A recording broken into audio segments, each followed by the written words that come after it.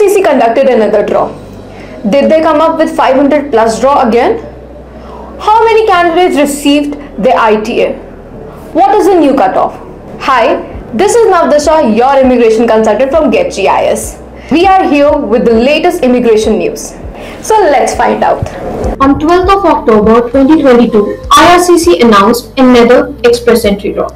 Do you wonder what is the CRS cutoff this time and how many invites were sent?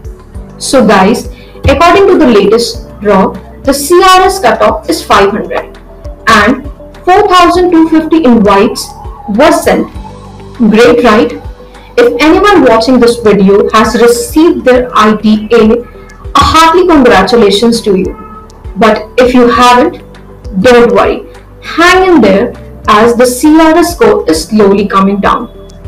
So, wait for the next draw as you might receive your ITA too.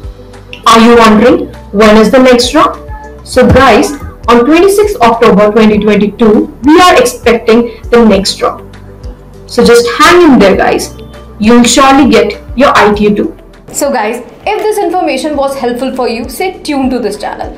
And if you have not subscribed us, so do subscribe, like and share us. And hit on the bell icon for the latest updates on immigration and PR services. Bye.